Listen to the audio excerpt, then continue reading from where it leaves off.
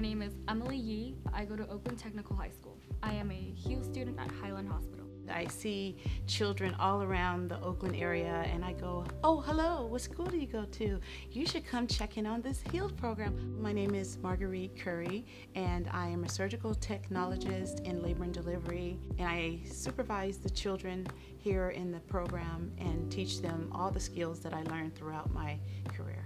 I've benefited from this program by getting to experience a lot of things that not many people get to experience.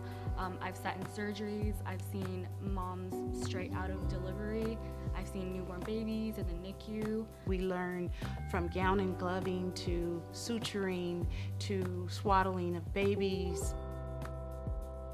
I'm able to show them C-sections, hysterectomies, and all the OB surgeries in my department. There's nowhere else they could see these type of things. My favorite part about the program is meeting all the people, like Marguerite.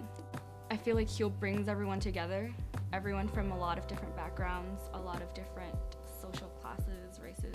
We're all together and we're all equal in this space. I grew up in East Oakland and I see the health disparities that are there. I want to be someone that helps with that, provide them with quality care without the expensive costs.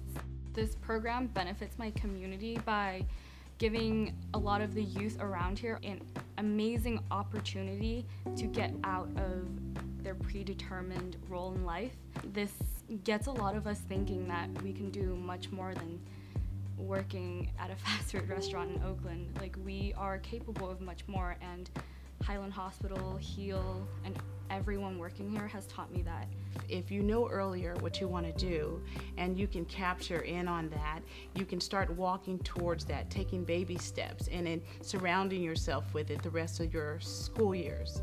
And so if the whole world was doing that, then we would have a better economy, we'd have a better society, people would be sharing love. Wouldn't that be beautiful?